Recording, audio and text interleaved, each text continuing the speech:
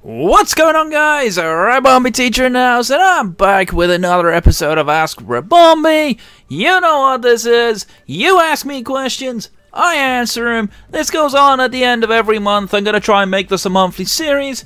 You guys have been asking me questions. If you want to know how to get your question in one of these videos, down below is a link to my Discord if you're not already in it. I strongly recommend you do. I post a lot of announcements in there, including when I'm streaming, when my videos goes up, when my friends are streaming, and any cool ideas or if I want some suggestions from you guys, Discord is the best place to go. In that Discord server, there is a channel called Ask Me Questions, so if you have a question for me at any time, whether it's Pokemon related, whether it's about me, or whether you just want a bit of a laugh, uh, pop your question in there, and if I think it's funny or whatever, I'll put it in the video. Simple as that. So, without further ado, let's get right into the questions. Question number one. What advice would you give to people that are starting as streamers? This came from my friend Ari, who I met recently. Um, Ari is just starting out his stream. Uh, I'm not really the most qualified person to answer this question, to be brutally honest, because I'm not really a big creator, if I have to be honest. But I'll quite happily tell you the advice that I was given when I started. Uh, the first thing really is always use webcam. Now, webcam is a bit of a controversial one for a lot of people. Um, I personally find um, I tend to gravitate more towards streamers with webcam. I think it's much easier to connect with the content creator. Um, if you are a small-time creator and you have a webcam, I think it's much easier to connect with your audience. Uh, without a webcam is fine, but for me personally, I think webcam is always better. Uh, but that being said, I do follow streamers um, who don't use webcam. They don't feel comfortable using webcam, and that's fine too. Uh, next thing, um, I didn't do this when I first started was have my own Discord server. Um, Discord is a really good way to kind of connect with your audience on and off stream. Um, you can have your Discord open while you're um, streaming and have some of your viewers come in and join you, so long as your viewers don't like troll you to oblivion or whatever, um, or like make obscene remarks or whatever. Uh, my community does doesn't really do that, so um, it's fine. It's nice to have that additional company. Uh, it definitely helps, um, gives you somebody guaranteed to talk to. I know it can be very difficult when you're first starting. When I first started streaming, I was streaming to two people, and both of those two people were in my Discord in car with me, so I had nobody actively uh, chatting to me, but eventually, as time goes by, uh, you gain a bit of a following. Uh, the third one, I think, is one of the most important ones, is network with other streamers that are doing the same things as you. Uh, this one happens quite often. Um, for me personally, like, if I um, make a friend with another streamer who streams the same game as me, um, generally certain members of their community will come over and support me as well, and then they'll have friends, and then you gradually kind of build up a slow little network of streamer friends those guys will give a common audience for you guys, and that's how you get a following. Um, when I first started streaming, quite a while back last year, I got double hosted by two other streamers that were playing the same game as me. I went from having two people in my chat that were in my Discord to having 50 people in my chat and having no idea what the heck happened. um, so it's definitely a fun experience, but I think if you network with other people, you'll get a lot more support. Um, it can be tricky um, when you first start. It can definitely be tricky. Uh, my base up, my follower base is currently sitting at just over 230 right now, uh, which is not bad. Uh, I've definitely grown surprisingly more than I thought I would, considering the kind of content I'm making. But I definitely think those are the main ones. So, um, webcam, definitely think, is something I prefer. Um, I think it's optional, but I think it's a good way to connect with your audience, have your own Discord, network with other people. Uh, always a good way to go. Um, I'll actually talk a bit more about networking in a bit because uh, I know another question is in here that will be an interesting one to talk about. Uh, I think the other thing is play games that you enjoy playing, right? Because it's all very well playing the AAA titles or playing the games that the pros play. You know, a lot of people stream League of Legends, a lot of people stream CSGO, uh, these kind of big esport type games. Those markets are massively saturated, but if you're streaming something that you enjoy playing, even if it's a game that most people don't haven't heard of, people will largely come to support you. Um, and then they might get interested in the game and they might start playing the game themselves. You never quite know, but they I think stick to what you enjoy. Don't try and be a market slave.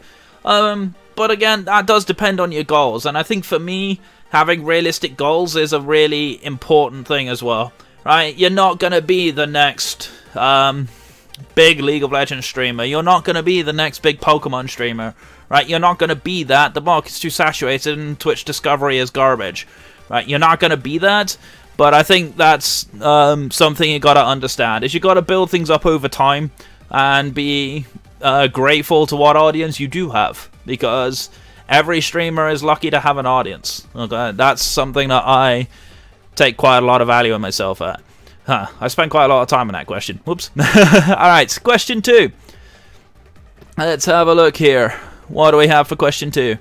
This one was an interesting one. Actually came up on Twitter. Um, are other Twitch streamers competitors or co-workers? Now, I actually briefly talked about this on my last stream. Uh, a couple of my um, viewers had a go at answering it themselves.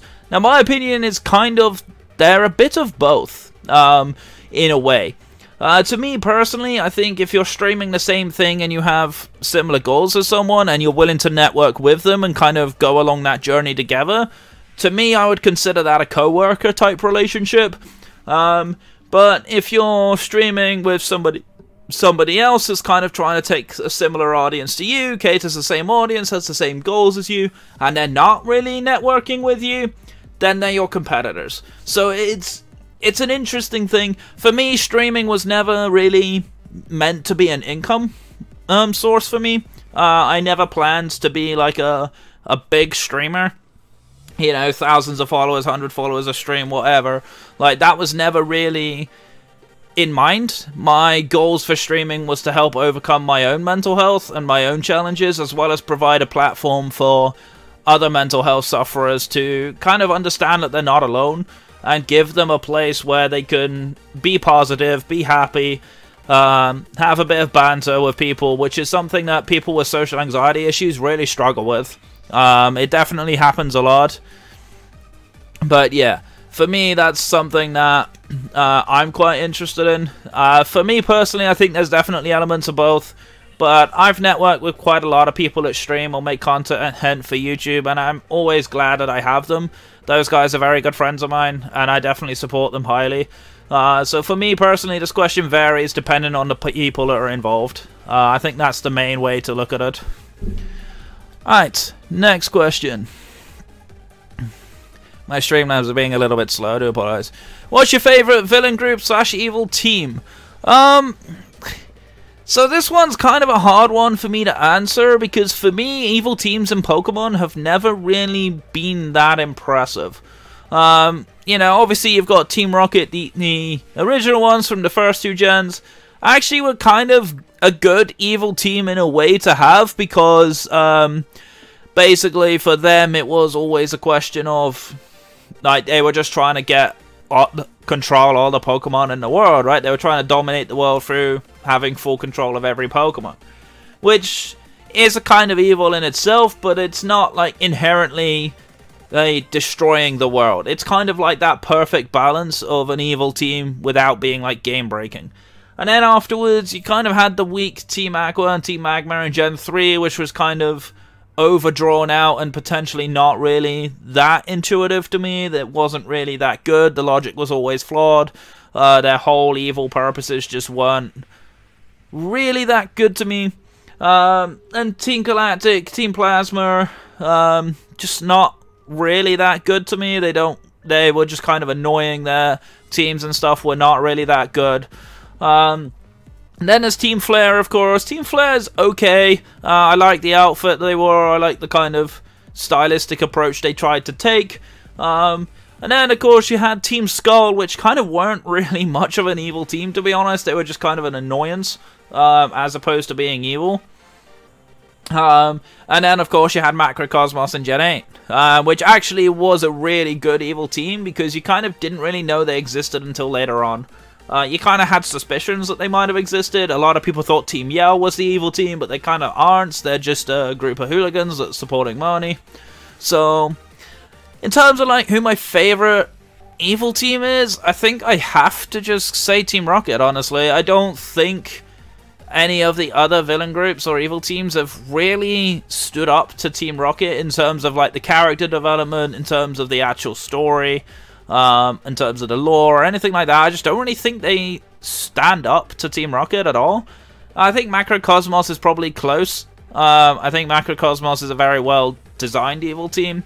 Um, but yeah, for me, I think Team Rocket has to be the best one for me. Uh, I can't think of anyone that immediately jumps out as better. Alright, number four, next question. Why can't I beat you in a draft league match? This comes from one of my friends, Burgers. I've played him a few times and I've beaten him every time. Uh, that happens a lot for a lot of players. Um, people sometimes do get frustrated when they can't beat certain players in draft league match. Currently, my kryptonite is my good friend Shadow AX. Um, he gives me all kinds of problems. Um, I think a lot of the time there are gonna be players that stylistically he just outmatch you. They're kind of just too strong, or they just have different ways of thinking that you just can't account for. Uh, one of my great personal strengths is my team building. Uh, so I'm very good at trying to build teams to counter opponents, and that's something that I do very well. Um, I think sometimes it's a case of I can find an avenue or find advantages that are really frustrating. But I wouldn't necessarily go as far as to say you can't beat me. I just think you haven't managed to yet. Now, you did beat me in a random battle, Burgers, um, but that's kind of different. Draft League is a different animal. Uh, but I do think in time you will beat me. You know, it happens. Like, people beat me once in a while. I'm not invincible. You know, nobody is. Um, but I think there's a lot to be said um, for people playing Draft League. I think it's a really tough discipline to learn.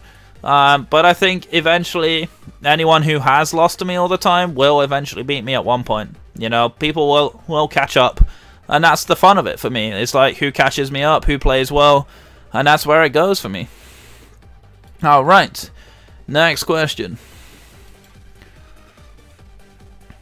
What do you think about Bisharp? Now, Bisharp is my good friend Dentex, aka Riptor's favorite Pokemon.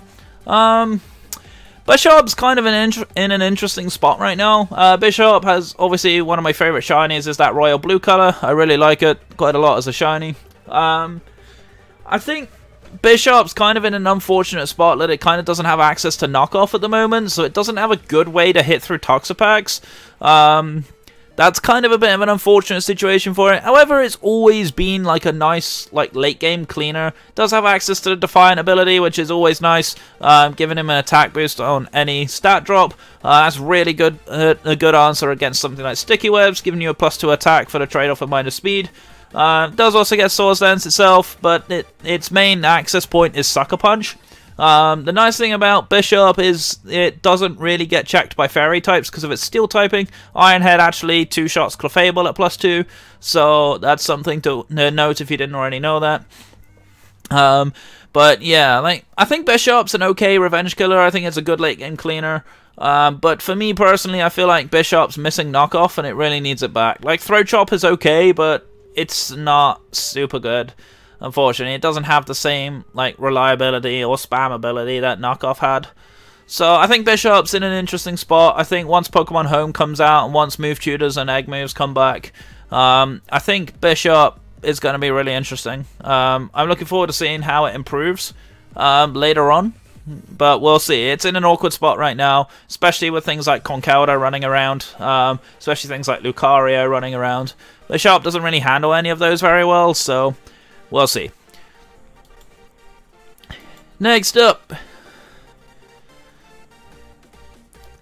How did you get in a draft league and what Pokemon would you like to draft this gen? This came from my good friend Tyler, of course. Um, I got into Draft League a few years ago, mostly as a kind of front office member, as a bit of a team builder. Um, a friend of mine was joining a league with their friends, um, and I was just like, uh, he basically reached out to me and was like, mate, I am really struggling with this. Can you give me a hand? So I helped him build his team, and he basically smashed his opponent. Um, and since then, I kind of just carried on helping people build. People started to get to know me as a team builder, so I started joining other people's front offices. And for a good couple of years, I was pretty much just a front office member. I didn't really have time to participate actively myself. Um, but I decided last year, after finally getting my PC built and everything, and being able to make content and stuff, that I thought I'd step into the breach as my as my own coach. Like I'd subbed in and did a couple of battles with people, but that's about as far as it got for me. Um, it never really went further than that, and that was kind of an, a bit of an unfortunate thing. I did actually win the majority of the uh, matches I did sub in for, so I definitely showed to be an okay player, but I just never had um, much of a belief to actually be my own coach. And then last year, I decided to step into the breach. Um, Denistrio was looking for a replacement player. Um, I'd mentioned to him before that I might be interested in playing. Um, and yeah, that's basically how it started. I joined the GPL back in Season 0. Uh, halfway through the season, uh, was literally bottom of the league when I took the team over, and then ended up winning three games in a row, made the finals of the league. So um, that's where the Royal Bournemouth Ribombees, the team logo above me, comes from. That's when it started, and since then I've played in multiple draft leagues. I've won multiple draft league titles, three ADL titles, a couple of other like social league titles as well uh, also a Showdown Team League title, so it's definitely interesting. Now, as for what I'd like to draft, I mean, I drafted Dracovish um, in the ADL. I definitely quite enjoyed using Dracovish. Um, I kind of want to try things like Grimmsnarl in draft. I think Grimmsnarl will be interesting because it is quite versatile. Um, I like things like Conkeldurr quite a lot. Um, I want to try things like Duraludon and Dragapult. I think those will be really interesting in draft. Uh, Duraludon is kind of tricky to figure out how to play against. It's really versatile Pokemon.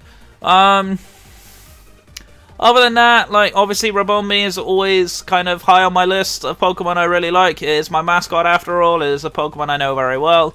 Um, so I definitely would like to draft Ribombee, but most of the time it gets sniped from me, and I'm really not surprised. Uh, most people know how good my Ribombee can be when I get a hold of it. But yeah, there's quite a lot of Pokemon I'm interested in. I'm interested in things like Sandaconda. Um, Sandaconda's definitely an interesting Pokemon, got decent physical bulk. Um, there's a lot of cool Pokemon out there. Um, so it's definitely interesting. Aegislash in the GPL is finally allowed after it got some nerfs. Um, so that's always interesting. So yeah, there's a lot of really cool Pokemon that I want to try out. Um, so it's going to be interesting. The GPL draft hasn't happened yet. Uh, that'll happen sometime next month, so I'm definitely looking forward to that. But yeah, it's going to be interesting. Uh, and let's move on. Alright, next question.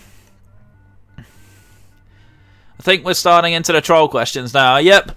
Here comes Punch's question. I promised him I'd put in the video. If two trains are traveling in opposite directions, one at 90 kilometers an hour and the other 30 nautical miles an hour, how long will it be till Brexit happens? Uh, Brexit is actually supposed to be happening the 31st of January, which is actually the time I'm recording this video, funnily enough. Uh, so hopefully by the time this video goes up, we're actually out and all of this Brexit nonsense is over. Obviously, some of my friends overseas have been joking, calling me Mr. Brexit and various other things like that, and that's fine. I'm all, all game for a bit of banter. It's about the only good thing that comes out of Brexit, to be honest, is the banter, so uh, I appreciate it. But yeah, like Brexit's due to be happening the 31st of January. Whether it actually does or not, time will tell. Alright, next question. Why'd you name a Stunfisk after me? This came from my good friend Melissa. Uh, this came when I was doing um, the Diamond and Pearl Soul Link with Tyler on stream. Um, my good friend Melissa rather jokingly said in chat, I once got jump scared by a Stunfisk once, so I immediately named it after her as a memory. Such a troll thing to do. But you know what? It's kind of funny. Um, obviously, like Melissa and I have known each other for years, so I know it's all banter and everything like that. But yeah, she'll call me a jerk as much as she wants, but it's all love, really. Uh, I do appreciate it. It's pretty funny. Alright, next. Is water wet? Now, there is actually a genuine scientific answer to this. I know Nitro is sending this just to troll me. The actual water itself, even though it's a liquid, is not actually wet, but the process of actually making something wet is when water sticks to a material. That's basically the actual answer for it. Uh, so, yeah, that's the actual answer. But, yeah, the other answer I was going to give was slightly different and not appropriate for YouTube, so I probably better not answer that one. Uh, Nitro can probably guess what that is. Alright, uh, last question I got for this video comes from Denistrio, of course, Officer Jenny or Nurse Joy. Now, I'm a security officer by profession at this point, so I have a bit of a soft spot for police officers. Uh, part of my work is to actually assist the police, um, especially in certain incidents and things like that, so... Uh, I'm a bit of a soft spot for officers. I'm not a huge fan of Nurse Joy, especially the more recent Nurse Joy designs. I prefer the older ones a lot more. Uh, but yeah, gotta be Officer Jenny. Alright. but yep, that's all the questions I had this month. If you've got any more questions you'd like to ask me, feel free to leave them in my Discord or ask me on Twitter or send them to me privately. But yeah, thank you so much for watching, guys. I'm going to get on out of here.